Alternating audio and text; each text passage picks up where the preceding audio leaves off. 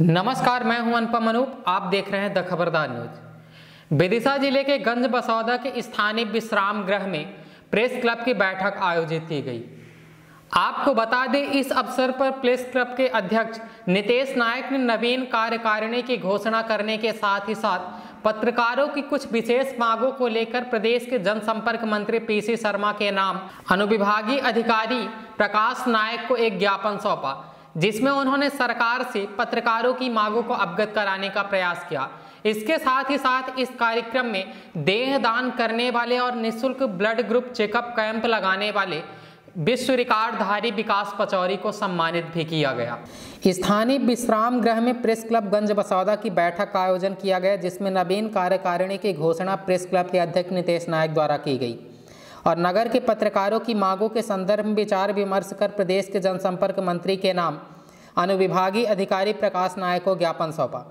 इस मौके पर ज़िले भर में निशुल्क ब्लड ग्रुप चेकअप कैंप लगाने वाले विकास पचौरी को फूल मालाओं एवं स्मृति चिन्ह देकर स्वागत एवं सम्मान किया गया।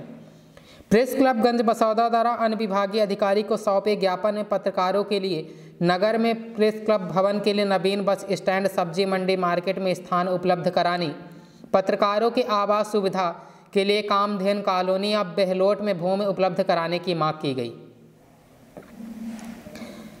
उपरोक्त बैठक में प्रेस क्लब के संरक्षक एवं वरिष्ठ पत्रकार doctor D P Sharma, Kailash Saxena, Anil Yadav, Yashpal Yadav, Om Prakash Chaurasia, Akhilesh Lahori सहित प्रेस क्लब के सचिव नरेश मीणा राधा छारी लक्ष्मी नारायण चौबे देवेंद्र त्रिवेदी शैलेंद्र सक्सेना, हरीश भावसार सुरेंद्र पस्तौर प्रवेंद्र रघुवंशी सौरभ सक्सेना, राहुल नामदेव सुरेंद्र सिंह रघुवंशी, नीरज चौरसिया सहित प्रेस क्लब के कई युवा पत्रकार शामिल रहे।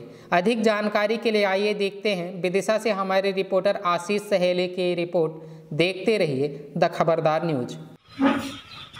मैं आपको एक अनुरोध करना चाहता हूँ कि से लगभग चार वर्ष पूर्व विदिशा से शुरू हुई थी, जिसमें अब तक एक लाख चालीस हज़ार से अधिक निशुल्क ब्लड ग्रुप परिचय कार्ड बनाकर देने का सौभाग्य ईश्वर ने हमें दिया है। सेवा का माध्यम जो ईश्वर ने हमें बनाया है।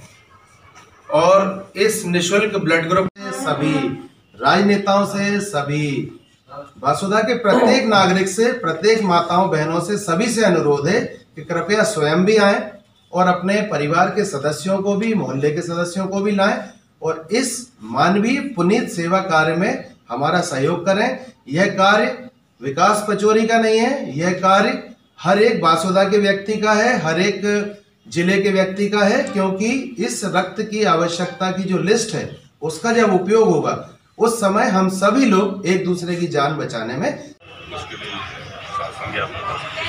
ये संस्था रजिस्टर्ड है। और चाहते हैं कि आपके माध्यम से हाँ, आपके समर्थन से आपके माध्यम से।